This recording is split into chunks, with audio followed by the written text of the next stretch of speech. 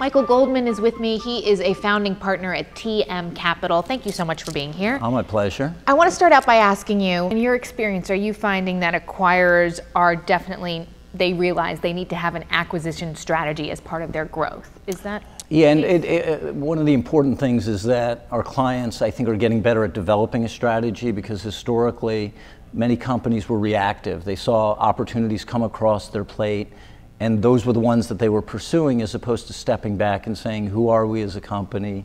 What do we want to achieve? What can we do organically mm-hmm. to grow our business?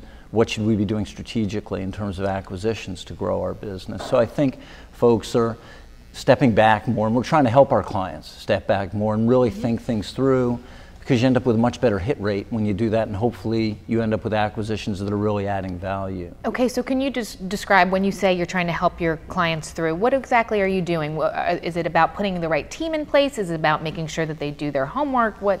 It's, it's a little bit of all of the above. So, one of the key things is the formation of the team. Typically, when you start talking to a company about acquisitions, the CEO is setting the strategy, and then you have a corporate development person and a chief financial officer, both of whom have a finance orientation to their work.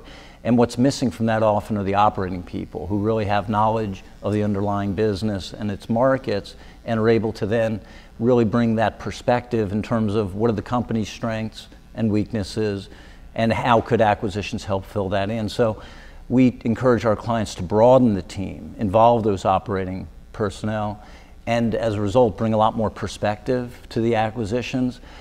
It makes things more complex to do that. You're dealing with a larger team, a broader set of opinions, and there are more roadblocks in getting deals done. But you're much more likely to get the right deals done if you pursue it that way. That was what I was going to ask you. Does that mean that you're getting more deals done or having fewer failures? It may mean you're getting fewer deals done. Uh-huh. You know, in, in the end, the goal isn't to close a particular transaction if you're really taking a long-term view on behalf of a company, what you're really looking to do is build value. And some deals destroy value, either because you're overpaying for the transaction, it's not the right strategic fit, it could be really distracting um, if it's not the right opportunity. So, I, you know, in our business, we get paid for the deals that happen, and yet sometimes we add the most value by advising clients not to do a particular transaction, either because it's not the right fit or because the valuation wouldn't really create value for their company. And what we try to do is build long term relationships with clients where they will appreciate that kind of uh, longer term advice. Any last words of wisdoms for acquirers as they go into uh,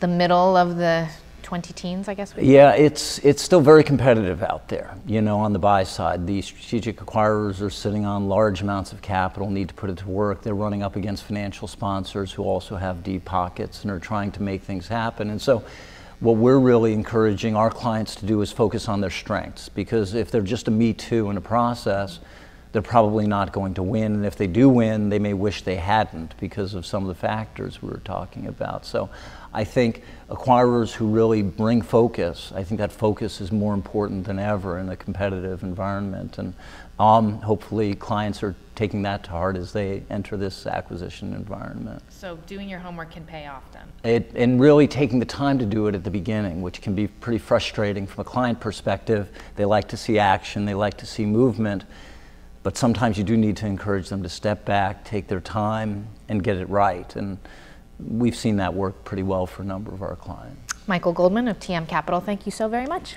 Well, thank you. Okay. Was that